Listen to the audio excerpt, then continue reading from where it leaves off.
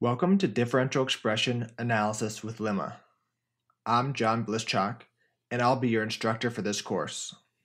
You will learn how to analyze data generated by functional genomics experiments. So let's review the terminology I will use throughout the course. Imagine a hypothetical experiment in which the researcher has treated cells with two different drugs, A and B. The drug treatment is the variable of interest and is an example of a phenotype. Each sample is processed by a high throughput assay to measure thousands of genes. These are the features. In this course, the features will always be genes, but in other experiments they could be proteins or some other molecular feature of a cell.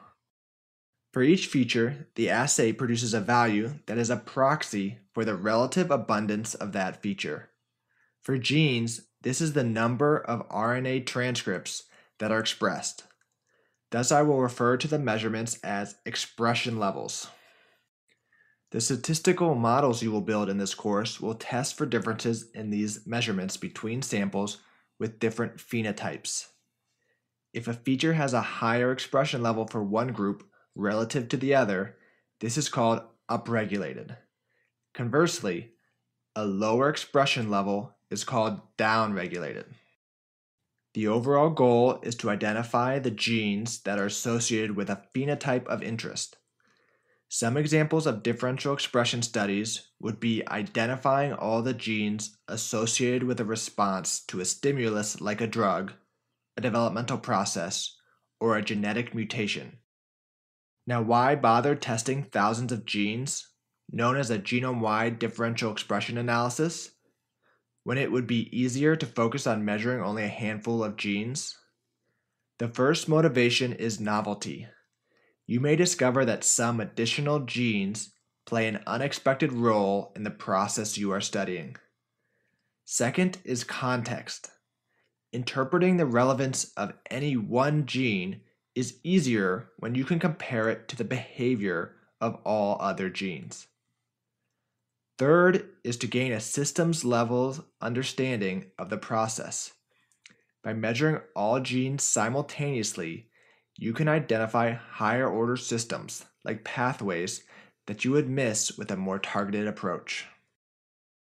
There are many steps to complete an experiment from designing the initial study to compiling the results. In this course, the main focus will be on creating linear models to test scientific hypotheses. But you will also learn the basics of exploring the data and interpreting the test results. Thus, in general, this course is agnostic to the type of data collected. To learn more about how to process the data generated by a specific technique, check out the other Bioconductor courses on DataCamp. Now for some caveats to keep in mind. First, the measurements recorded by these genomic technologies are relative, not absolute. Thus, comparing the measurements across samples is valid, but it's not possible to directly convert these measurements to the total number of molecules. Second, study design is very important. All experimental techniques introduce some technical noise, but the statistical methods for removing this noise are only valid for properly designed studies. You'll learn about proper study design later in the course. Now let's test your comprehension.